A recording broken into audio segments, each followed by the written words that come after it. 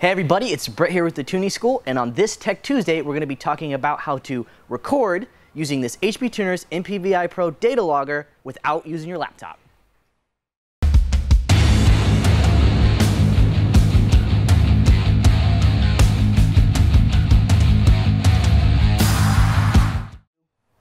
So this is what HP Tuners calls standalone data logging. Basically, it's a way for you to record data to this unit without ever having to actually hook up your laptop. And it's a really awesome feature, but there's a couple things that you need to know before we get started. So the first is this is only going to work on an HP Tuners Pro unit. How do you know if you have a Pro unit or a standard unit? It's quite simple. All you're going to do is check the side of your unit, and if you have this green input for that green plug for inputs and outputs, then you have the Pro unit. If a standard unit, this isn't going to work with your unit. Now, something else you want to keep in mind is that this will take up to about 32 individual data logs if they're relatively small. Or it'll record up to 80 minutes worth of data. Now that's a lot of data, more so than most people are going to need. Now, why is this so important to be able to record without the laptop? Well, if you're at the drag strip and you're trying to make a pass, you want to know what your car is doing, right? The tech guys usually don't like it when they see the laptop open in the seat next to you. You're also going to be tuning on the street at times. When you're doing that, the laptop's going to slide around, it's going to fall on the floor, it's going to slam shut. All these different things can happen. You're also going to have scenarios where you're just driving the car every day and let's say something weird starts to happen, you don't necessarily have to bust out your laptop to capture that data. You can just hit this button. So now that you guys understand the basics of how this is going to work, I'm going to actually show you how to set it up and use it using my 2004 Silverado. So here we are in my 2004 Silverado, and the first thing that we need to do is we have to write the channels list to this MPVI Pro right here. So basically we have to tell it what data we want it to record. So we've got it hooked to the laptop and we've got it hooked to the car right now. So what we have to do before we do anything else is we have to select connect to vehicle because we have to tell it what vehicle it's working with. So you're going to click the blue car for connect to vehicle. And for this part the key does have to be on and my key was not so it's probably going to fail. And it did and that's okay.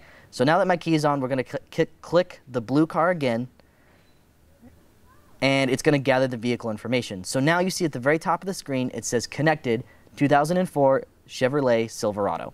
So now that that is good to go, we're going to select vehicle at the top of the screen here, and then we're going to select MPVI Pro data logging.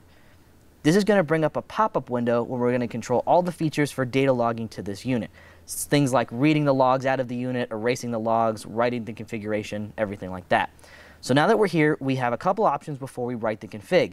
We have to choose the scan rate. So we can choose a slower scan rate, which is going to be a longer duration, or we can choose the normal scan rate, which is going to be more precise. Most of the time, I'm using the normal scan rate because it seems to work better for what I like to do.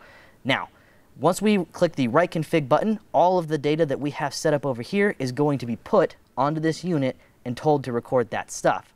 So we're going to go ahead and click write config. And you can see at the bottom, it's going to go through its thing. It says status, writing config, writing config completed. So at this point, we're ready to rock and roll, and we could start recording to this unit without any laptop.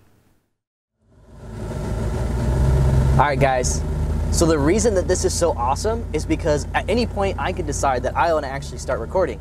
So I'm out driving right now, and let's say I drive a 2004 Silverado, and it likes to try and break down on me all the time. If it starts doing weird stuff, all I have to do is hold that record button, and you see now I've got it recording. So it's super easy, super convenient. I don't even have a laptop in this truck right now. So this is great for anybody that's doing any kind of drag racing, off-road racing, even road course racing, anything that prohibits you from actually having a laptop in the car, this is perfect for because you just you don't have to have the laptop in the car. Now, if you know at some point you go, okay, that's enough data. I want to go ahead and stop recording my data. All you got to do is to take the stop button right here.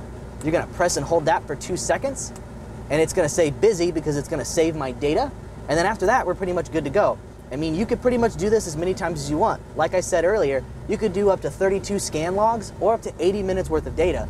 So that's usually more than enough for you to capture exactly what you want to see inside of your log file. So now that we have recorded some data, we're to hook this back up to our laptop. We're going to go into the VCM scanner. We're going to go back to vehicle and back to MPVI Pro data logging. And the first thing we're going to do is click the Get Info button. Now this is going to tell us that we took one log file and it's going to tell us that it used 3% of the memory. Now that we see how many log files are actually in here, we're going to go ahead and click Read All Logs. And as it reads the logs, it's going to ask us to save them each individually. So we will call this log data1 and click save. Now once we've got the logs saved that we wanted, we can go ahead and close this pop-up window and you would just go to log file and edit, or excuse me, log file and open, just like any other log file, and you're going to go ahead and double click on it to open up the data and see exactly what you recorded. Thank you guys for watching. Hopefully you find this information helpful in your day-to-day -day tuning. If you need any more high-performance tuning knowledge, make sure you check out the Tuning School on our website or our social media pages.